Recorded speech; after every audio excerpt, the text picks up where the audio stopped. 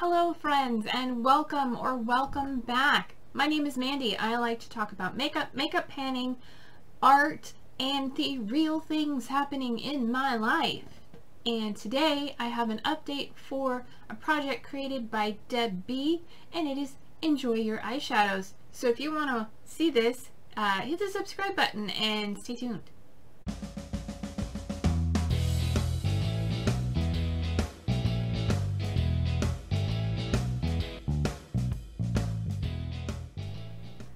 Alright, this is a project called Enjoy Your Eyeshadows. It was created by Deb B here on YouTube and it was inspired by many of the eyeshadow projects that are out there floating around.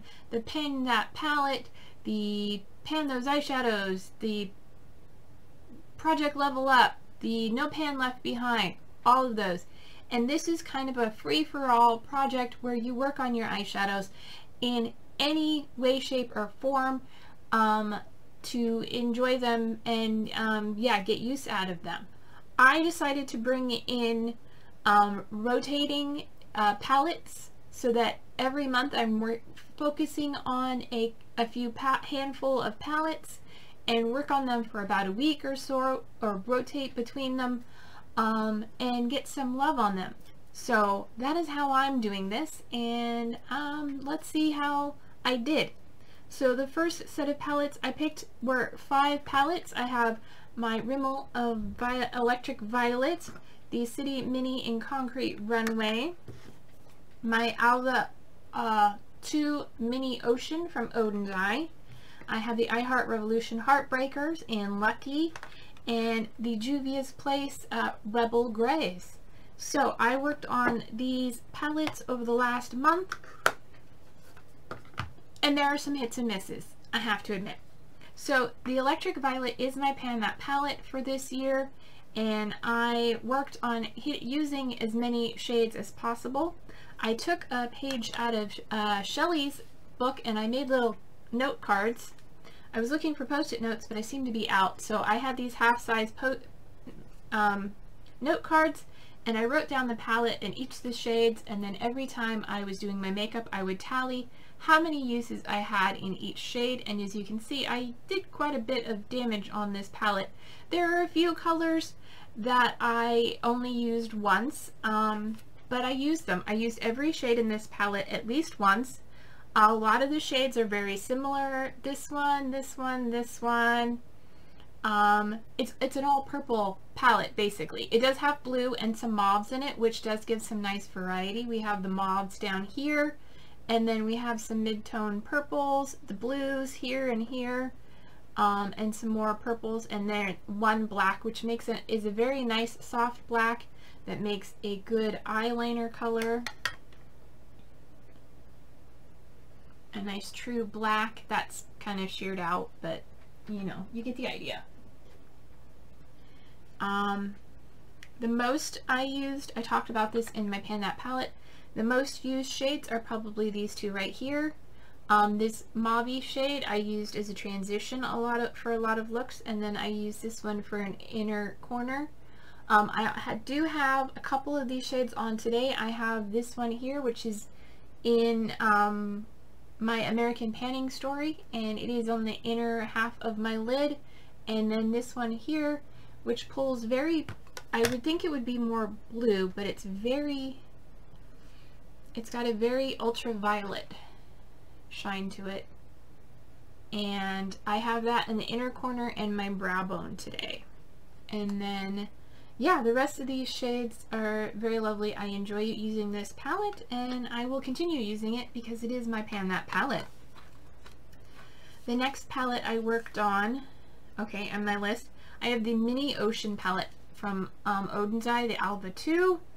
And the color story, I was really excited by this one. I thought this would be a really good choice. Very beautiful blues on this end, and then the brown oranges, not too bad. Um, this light blue is the only matte in the palette, and this blue is very creamy, which, you know, hadn't noticed, but it's very in it's very intense and it has a tendency, I, I would probably have to play with it more, but it has a tendency to run away from me and get out of control. Um, and then these two shades are just too orange on me and I didn't enjoy it. This palette was actually the one I did list, liked the least and I'm actually decluttering it. Um, I did have this in a project for No Pan Left Behind and um, as you can see on my card I did use all the shades at least once. I used that blue twice trying to get a hang of it but um, and I had, did use them prior to this project. But yeah, this was not something I enjoyed using it, and when it came its turn to be used, I really dreaded using it and actually combined it with other things, and um, yeah, I'm actually going to be passing this on to somebody else, and hopefully they will enjoy it more, and if they don't, well, they can pass it on to somebody else. It's a beautiful shade, it's just the formula is, I don't, it's, it's interesting. It's an interesting formula, and I wasn't expecting it trying to figure out where to put that. Alright, let me wipe some of these swatches. Okay, that's not working very well because it's dry, but that's okay. Next up on my list, um, or just the way I'm pulling the cards, I have my Juvia's Place um, Rebel Grays. I really enjoyed this. I used each shade several times, at least twice. The problem, I the thing with this pa palette is it is limited in colors. It works very well with other palettes as a complement, um, complementary palette. Um, these two silvers are very similar. This one's more of a satin and um, it, it, it, makes a nice base or transition color. Um, but these, like I said, these two silvers are very similar. One is a little more cooler and one's a little bit warmer. But once you get them on the eye, especially if you pair them with the dark shade, they're really indistinguishable. Um, I, I am happy I have this palette and I will continue to use it and I enjoyed it very much. Um, but yeah, there's uh, not a whole lot to say on that. So that will uh, live on for another day. And then I will talk about the Revolution Heartbreakers palette. Um, this is one palette I actually realized I did not use all the colors. Um, mainly I focused on the colors I have in projects. I have these three um, greens in my 50 Shades of Green and you can see that goldy green in the middle there, number four, is got a nice dip going in it. And you know, who knows, maybe I'll hit pan in that. Um, but I used those four and the one in the middle, which I can't remember what project that is in, but it's in a project. And those are the only shades actually in this palette that I used. So one four five and 7. 1, 4, 5, and 7. Um, yeah, and I realized I need to bring this back and play with it more. I have not touched these. I think I've touched this one once or twice. I may have tried this one once. I don't think I've ever used the brown or the yellow um, and I'm not sure how I would use them in combination with these colors, but I would like to give a chance to try that out. Um, but I'm going to put this one aside for now and bring it back later. But um, yeah, this one could really use more love because I just, I didn't. I focused on the colors I had, but I did use them quite a few times. And then the last palette to talk about is my Maybelline City Mini in the colorway Concrete Runway. Um, I think this one is available still, but hard to find. Um, and this is what it looks like. It is a very dark palette. And I did use most of the shades. Number two, so I did um, one, two, three, and then I mixed my own shade here, which is Franken shade 4, 5, and 6. And so the white shade is, um, is a base. I have that in my transition today. It's just a white base. It kind of doesn't really do anything. It doesn't have much shimmer for a highlight, but you can use it as a brow, brow bone highlight or inner corner. Um, I did franken it with this one here, which is a combination of um, the white and the purple here. Yeah, there. and then just a little bit of the um, silver. Um, number two was the black. I did not use that because I worked on other blacks um, the dark purple shade I do have in a project and um, I enjoy I use that the most. Um, I have that on on the outer corner. Nope. Yes, the outer corner and on my lower lash line. Um, and then I have the blue in the middle of my eye look, which is topped off with the blue from my other palette. Um, and then this shade, I was trying to get something lighter. It's not really that terribly much lighter, but it is a... Let's see if I can build it up so it's visible. And I'll give you a comparison to the full version. So there is the comparison. So this is the Franken shade, which is a bit lighter and a bit shimmery. And then this is the purple, which has that black base. So both of them, they didn't turn out that much lighter, but I might Franken some more later and try it again. Um, but yeah, that that is, I enjoyed that palette. It is definitely one of my oldest palettes um, and really want to get a lot of love and use out of that. But I did use most of the shades. Like I said, it is a very dark color palette and it is probably something that would be best paired with other um, other palettes. So let me wipe off my swatches and we'll move on to what I'm going to bring in to work on for this month. Okay, so this month I'm going to continue working on my Pan That palette. Um, and then I'm going to bring in four more palettes to work on in conjunction with it or by themselves. Um, they are all in, have shades in a project somewhere for some usage um, because I have such a small collection. That's the way it goes. Um, so the first palette I'm bringing in this month is my Sapphire for September from BH Cosmetics. And this is what it looks like. It is a beautiful blue and purple uh, blue and green color story and I have these two no yes no I I have this green in my 50 shades of purple and then I have the blue and the dark green in my Zodiac project pan um, I have never that I know of used this color or this color and then this is a pressed um, glitter. And then this one here, which is Sapphire, I used in Fifty Shades of Purple last year. Um, but definitely some beautiful blue and green color combinations. And I might even try playing with that um, glitter. I don't know how I feel about that. But um, the use I have gotten out of this palette I really enjoyed. But like I said, I don't think I've used any of the shimmers in this palette except for the Sapphire. So I'm looking forward to playing with that and I'll give you swatches of them. Let's see. So the first one is called Sporty and the second one is called Cool. So the silver one is Sporty and then the teal blue is Cool and those are beautiful colors that I wish I had used more often or wish I had used at all. Um, and then I'll give you a swatch of Sapphire, which is a beautiful purple blue. Just gorgeous colors. So looking forward to playing with those. The next palette I'm bringing in, I should make better smaller swatches, but that's okay. Um, you've probably seen this one once or twice. It is my BH Cosmetics, again, um, Venom palette, and this is a 9 pan palette and it has some beautiful grays and purples and white um, has beautiful shocks of color um, that are surprising for this color story. Um, have those two there. So this one is called Bad Blood. It is sort of a dark, it is a dark purple. And then this one on the bottom, which is really pretty. I don't know what, if it can show much. Here we go. And that is the one at the bottom called Femme Fatale.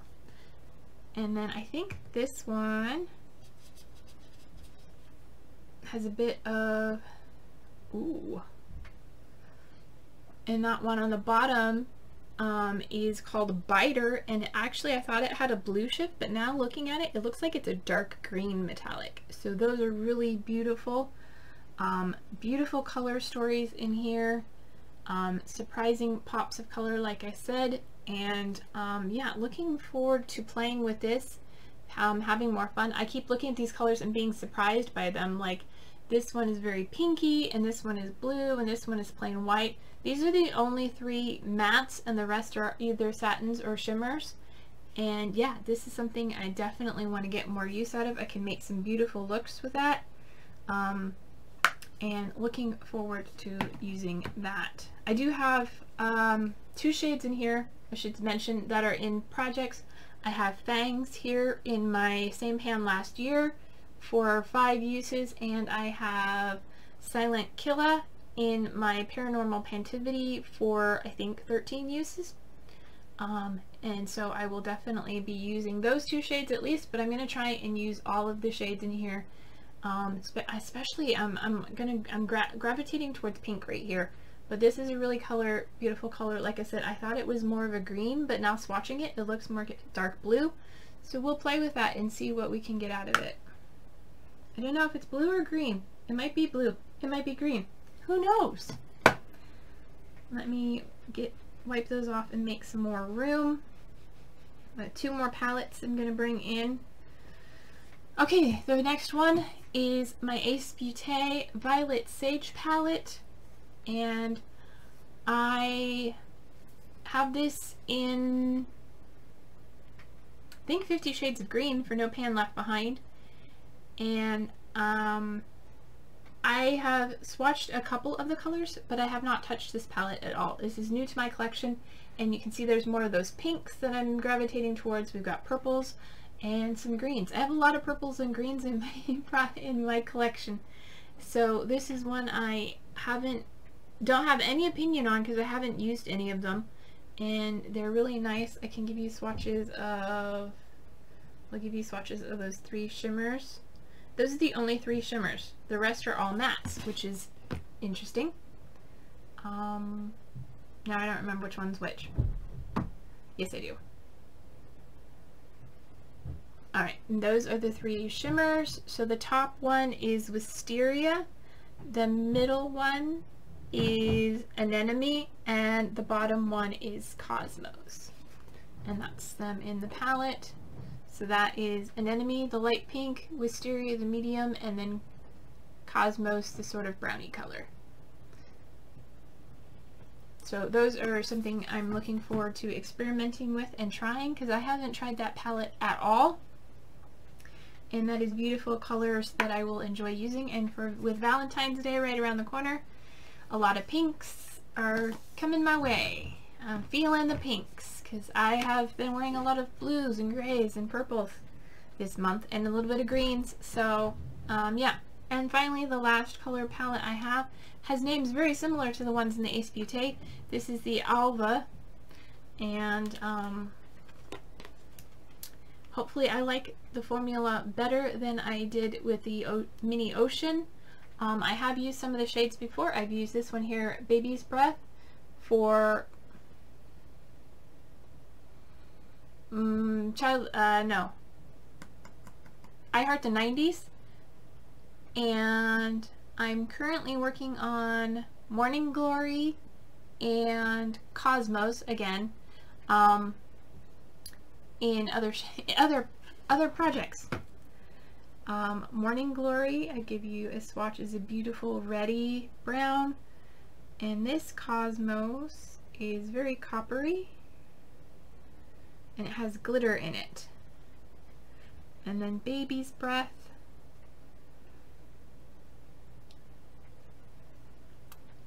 So Baby's Breath is the one on the bottom. Beautiful, smooth, creamy formula. The Cosmos in the middle is sort of that orangey, but it has, um, get it close up. It has a rougher texture. It has like glitters in it, which I, I don't like that formula very much. And then the top one is the Morning Glory, which is a matte. That is a beautiful sort of muddy red color. Um, but there are other shades in here that look very attractive that I would like to try and play with. Um, let me swatch a couple. So we have Camellia. Let me swatch them on the other hand. And dandelion, lilac,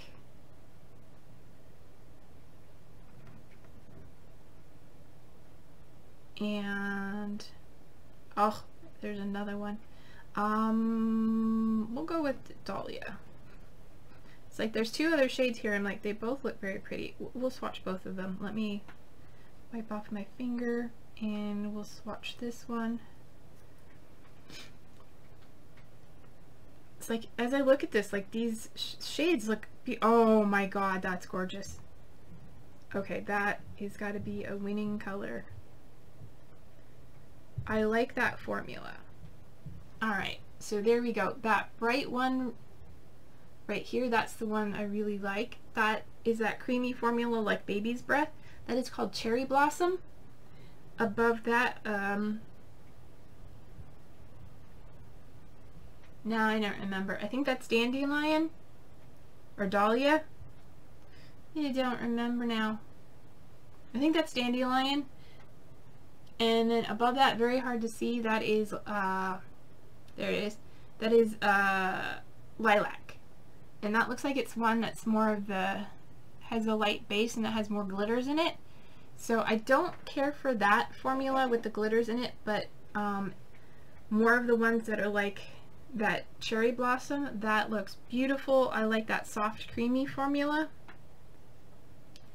So yeah, I'm trying. I'm gonna try and use each shade in here and experiment and play with them and see which formulas I like and maybe which ones I don't. I definitely am not a fan of this one. This is the one with the glitters in it. But then this is the cherry blossom right here and that is a stunning creamy color. Um, Dragon's Breath, like I said, is a creamy color. And there's some lovely mattes in here. This one, and this one, and this one.